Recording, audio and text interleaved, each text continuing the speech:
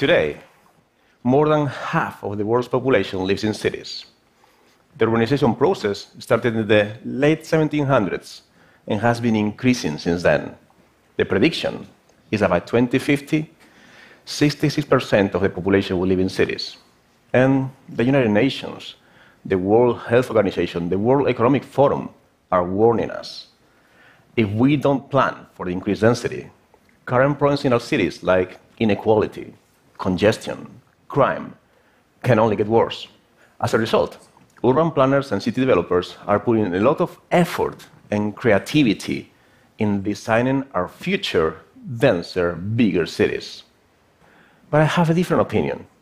I think urbanization is actually reaching the end of its cycle, and now people are going to start moving back to the countryside.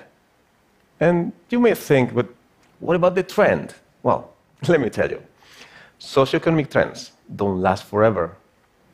About 12,000 years ago, everybody was perfectly happy, roaming the land, hunting and gathering.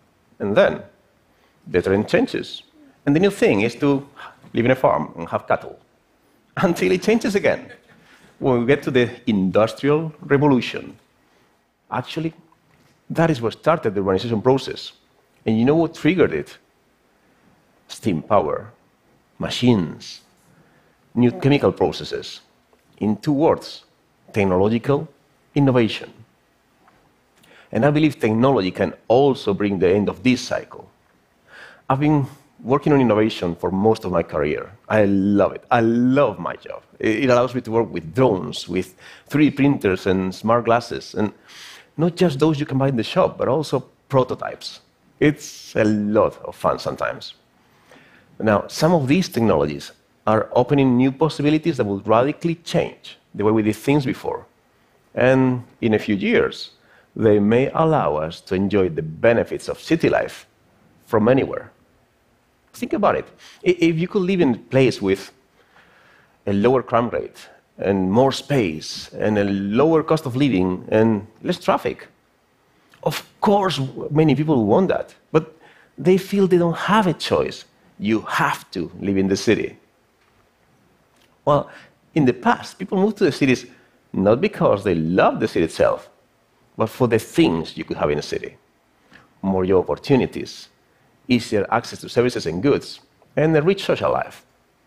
So let's dive deeper. More jobs and career opportunities. Is that still true today? Because the office people are starting to realize that working in the office and being in the office may not be the same thing anymore. According to a study by Global Workplace Analytics, more than 80% of the US workforce would like to work from home. And do you know how much it costs for a company to even have an office? $11,000 per employee per year. If only half of those workers would telework even 50% of the time, the savings in the States would exceed $500 billion. And it could reduce greenhouse gases by 54 million tons. That is the equivalent of 10 million cars off the streets for a whole year. But even though most people would want to telework, current technology makes the experience isolating. It's, it's not comfortable. It doesn't feel like being there. But that is going to change by the convergence of two technologies augmented reality and telepresence robots. Augmented reality already today allows you to take your office environment everywhere with you. All you need is a wearable computer a pair of smart glasses, and you can take your emails and your spreadsheets with you wherever you go. And video conferences and video calls have become very common these days, but they still need improvement. I mean, all those little faces on a flat screen, sometimes you don't even know who's talking. Now, we already have something way better than static video calls your average telepresence robot. I call it tablet on a stick you can control, you can move around, you can control what you're looking at. It's way better, but far from, from perfect. You know how they say that most human communication is nonverbal? Well, the robot doesn't give you any of that. It, it looks like an alien. But with the advances in augmented reality, it will be easy to wrap the robot in a nice hologram that actually looks and moves like a person. That'll do it. Or else, or else, forget the robot. We go full VR, and everybody meets in cyberspace. Give it a couple of years, and that will feel so real you won't tell the difference. So, what was the next reason why people moved to cities? Access to services and goods. But today you can do all that online. According to a study made by ComScore, online shoppers in the US last year did more than half of the retail purchases online. And the global market for e commerce is estimated to be at $2 trillion and is, going, is expected to reach 2.38 by the, end of 2017, according to eMarketer. Now, from a logistics standpoint, density is good for deliveries. Supplying goods to a shopping mall is easy. You can send big shipments to the shop, and people will go there, pick it up, and take it home themselves. E commerce means we need to ship onces and have them home delivered. That's more expensive. It's like the difference between having a birthday party for 20 people or bringing a piece of the cake to each of your 20 friends at their place. But at least in the city, they live close to each other. Density helps. Now, e commerce deliveries in the countryside, those take forever. The, the truck sometimes needs to drive miles between one address and the next one. Those are the most expensive deliveries of all. But we already have a solution for that drones. A vehicle carrying a squadron of drones. The driver does some of the deliveries while the drones are flying back and forth from the truck as it moves. That way, the average cost for the delivery is reduced, and voila, affordable e commerce services in the countryside. You will see the new homes of our teleworkers will probably have a drone pod in the yard. So once the final mile delivery is not a problem, you don't need to be in the city to buy things anymore. So that's two. Now, what was the third reason why people moved to cities? A rich social life. Do we need to be in the city for that these days?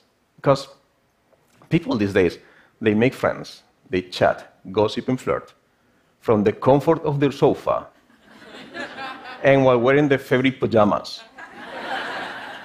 There are over 2 billion active social media users in the world. In a way, that makes you think like we are connected no matter where we are. But okay, not completely. Sometimes you still need some real human contact. Ironically, the city with its population density is not always the, same, the best for that. As actually, as people, social groups become smaller, they grow stronger. And a recent study made in UK by the Office for National Statistics showed a higher life satisfaction rating among people living in rural areas. So as people settle in the countryside, well, they will buy local groceries, fresh groceries, foodstuff, maintenance services. So handymen, small workshops, service companies will thrive. Maybe some of the industrial workers from the cities displaced by the automation will find a nice alternative job here, and they will move too. And as people move to the countryside, eh, how is that going to be? Think about autonomous, off the grid houses with solar panels, with wind turbines, and waste recycling utilities. Our new homes producing their own energy and using it to also power the family car. I mean, cities have always been regarded as being more energy efficient, but let me tell you, repopulating in the countryside can be eco too. By now, you're probably thinking on the advantages of country living. I did it myself. Six years ago, my wife and I, we packed our stuff. We sold our little apartment in Spain, and for the same money, we bought a house with a garden and little birds that come singing in the morning. it's so nice there. And, and we live in a small village, not really the countryside yet. That is going to be my next move. A refurbished farmhouse. Not too far from a city, not too close and now we'll make sure to have a good spot for drones to land.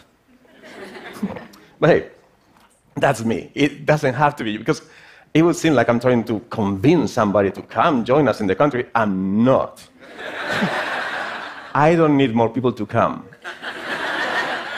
I just think they will once they realize they can have the same benefits a city has. But if you don't like the country, I have good news for you too. Cities will not disappear. But as people move south, a lower density will help them recover a better flow and balance.